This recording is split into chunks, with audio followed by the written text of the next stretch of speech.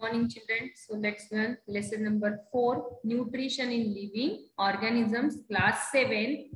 So today we are going to learn nutrition in animals. In our last period we learned nutrition in plants.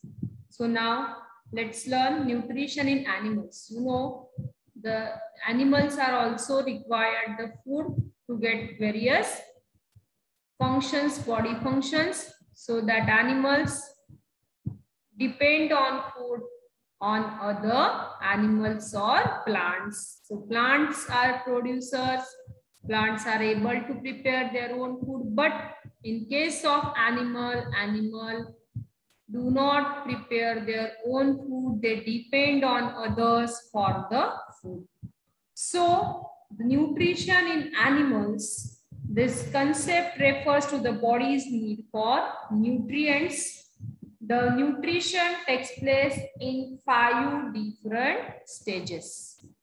So on the basis of mode of nutrition, animals can be classified into holozoic animal, parasitic animal, and saprozoic type of nutrition show in animals. Okay, holozoic, saprozoic, and parasitic nutrition. In this three types of nutrition takes place in animals. Now let's learn one by one. So see, nutrients necessary for various activities of body are obtained from the food. We, we require the food nutrients. Which are food nutrients? That is carbohydrates, fats, proteins, vitamins, minerals and roughage along with the water. These are the essential nutrients required for performing various activities in animals. So they are supplied to the various parts of body through the blood.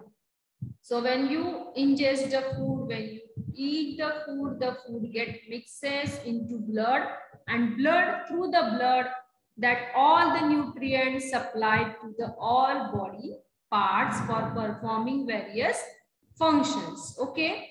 The food that we consume does not mix with blood as it is. It needs to convert into simple soluble form. The food item we eat that are in complex form. Okay, it need to be converted into simple soluble form. So by the action of various enzymes on the food, the food get converted into soluble substances. Okay, and the soluble form that can easily mix in the blood. So nutrition in animals varies straight from ingestion to egestion. So it takes place in five stage. Okay. So let's learn one by one five stages of nutrition. See. Nutrition five stages. First step of nutrition is ingestion.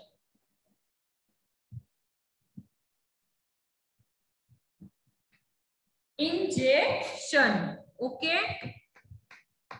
First step is ingestion. So what happened in ingestion? Let's see. Food is taken into the body. We inject food. Food taken into body. Food taken in body. Means we use our hand to inject the food. Then digestion. Second step is digestion. When the food enters into the body, the conversion of food into simple soluble form, that means it is digestion. Okay. Then third step is absorption. So right here, food converted convert simple soluble form okay in the digestion process. Then absorption. Absorption, transfer of soluble food into the blood. Here, soluble food transfer into blood.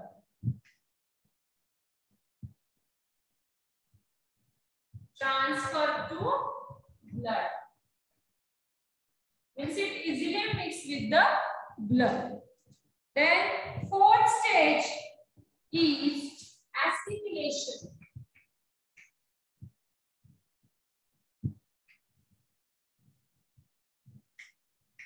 What happened in assimilation? The utilization of absorbed food. This absorbed food utilized in state of assimilation. Okay? And the fifth stage is egestion.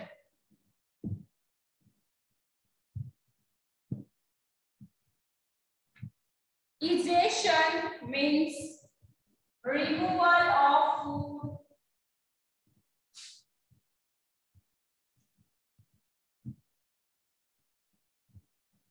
removal of food removal of food in the form of feces means the egestion, the unwanted material, the undigested material that throw out from the body that is egestion. So these food five stages, ingestion, digestion, absorption, assimilation and egestion. So these five stages shows in nutrition in animals. So let's learn one by one. Okay.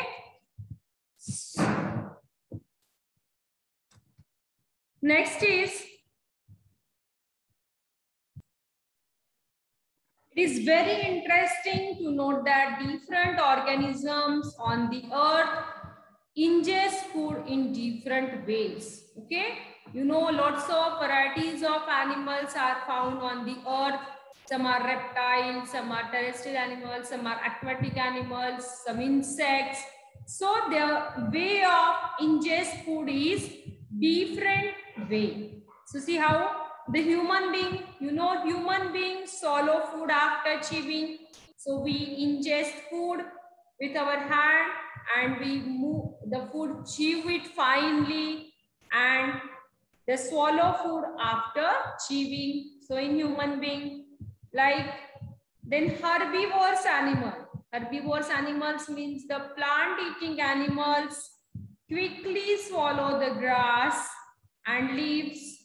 They store these in a part of their stomach and again back to come back the food halfly or the partially chewed food come back to the mouth.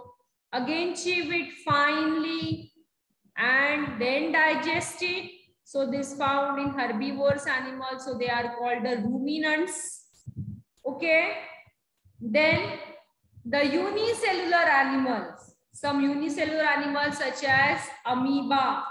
Have you seen the amoeba? Amoeba is a unicellular organism that does not have the organ like us, like hands, like mouth, because it is a single celled animal. So in amoeba, it is a unicellular organism. It can take the food through any part of the surface of its body. So see amoeba, the structure of amoeba, how the amoeba ingest food.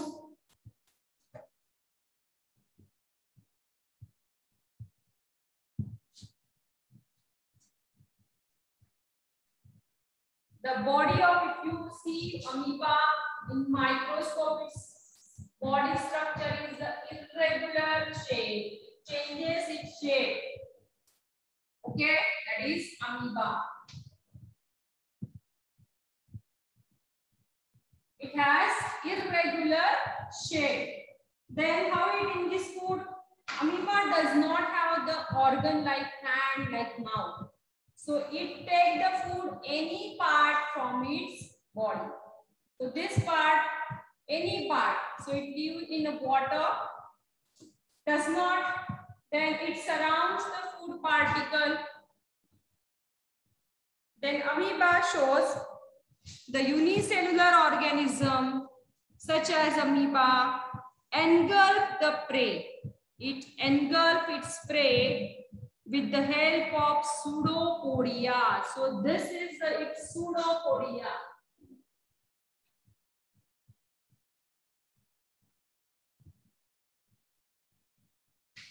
Pseudopodia. Pseudopodia means it is a false fit. They are used for this locomotion for the movement and catching its prey. This pseudopodia helps to catch the prey also. Okay.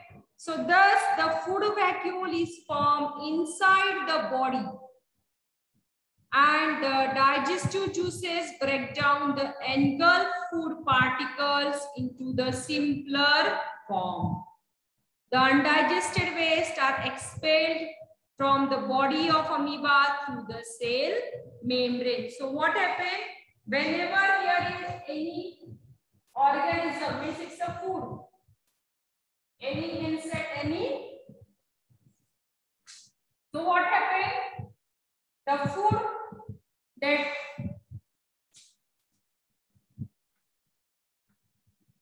the food when and amoeba usually live in the pond and it catch the food with the help of its pseudopodia. Pseudopodia is a false fish. So it surrounds the food particle from all the sides to take it into the cell. So what happened? If the food is here, suppose the food is here, food of amoeba, a vacuole develops. This pseudopodia enlarge into the size. On this side also it enlarge its part. So they develop the vacuum. यहाँ से एक pseudopodia, वहां से दूसरा that enlarge and vacuum forms and this part is joined.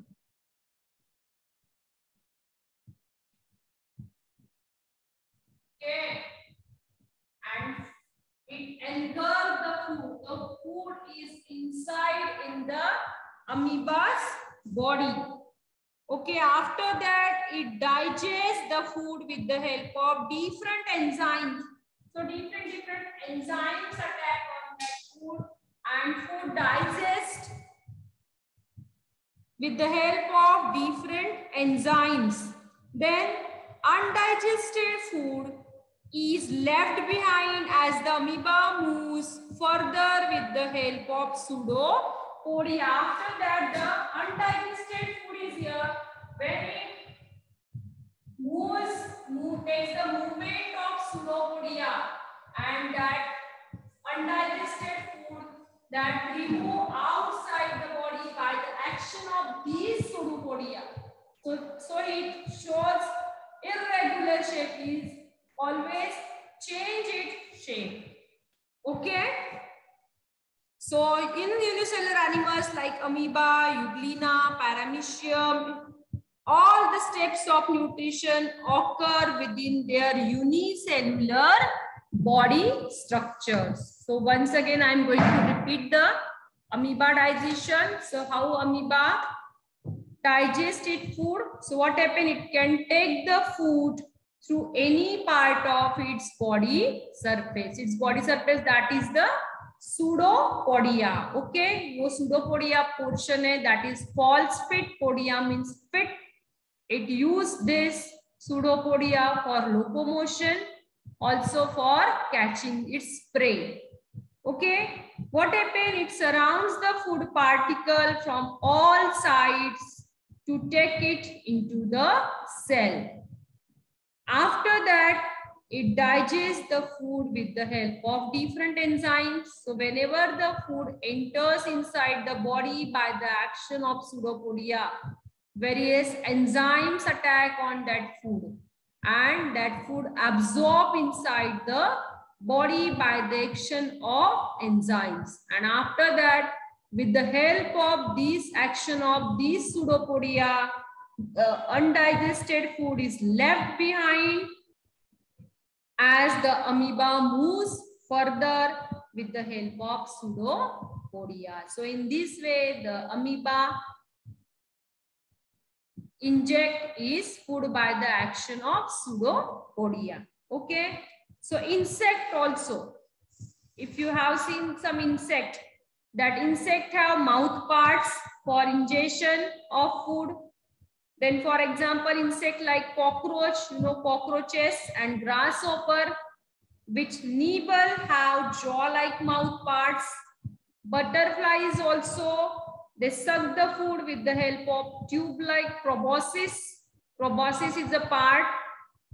Then mosquitoes and bedbugs use a needle-like mouth part to pierce the tube-like mouth part and suck the blood and other fluid also. So which have you seen? Then hydra, you know, hydra pushes its food with the help of tentacles inside the body cavity. In spider, okay, have you seen the spider, how it engulf the food? The mode of ingestion is sucking after injecting venom to the prey. Spiders क्या करते हैं पहले वो prey के venom में prey में venom inject. Venom means poison. They inject the venom to catch the prey. Then frogs, you know frog has a sticky tongue. Chameleon also sticky tongue. It capture the prey with their sticky tongue. Then earthworms swallow food using their muscular pharynx. So that are the different different animals show the different steps of ingestion. So in this lesson, in this portion we learn the five stages of digestion that are ingestion. Ingestion means food is taken inside the body. Okay various animals shows the various parts of ingestion. Then digestion start whenever food enters into our body, the digestion of food takes place inside the stomach. Okay. So conversion of food into simple soluble substances that means the digestion. Then absorption takes place the absorption. So transfer of soluble food to the blood. Okay, blood absorb the food material, various nutrients present in the food atom. So all these absorb into the blood and blood transport throughout our body. Okay. Then assimilation. What happened in assimilation? The utilization जो भी absorb किया है blood में nutrients. So that nutrients utilize. So utilization of absorbed food by the cell and tissue for energy production. We know we get energy from the food. So that means that is assimilation. Say, our body ko energy production hota growth and repair also. Then at last, egestion. Egestion means the removal of waste material and undigested food from the body in the form of feces or in the form of digestive waste. Okay, so this is about the nutrition in animals. And observe the animals around you and you have and observe various parts of digestion, how they ingest their food and how they digest their food. So learn this in our next period. We will learn another two types of nutrition that is saprozoic nutrition and parasitic nutrition. That means first we learn holozoic nutrition. So holozoic nutrition means we directly that food enters into our body. The ingest complex organic food substances digest them by the action of enzymes produced within their body and expel the digestive waste outside the body. That means holozoic type of nutrition. Amoeba and human being are the examples of Holozoic type of nutrition. Understood? Holozoic nutrition. So next period we will continue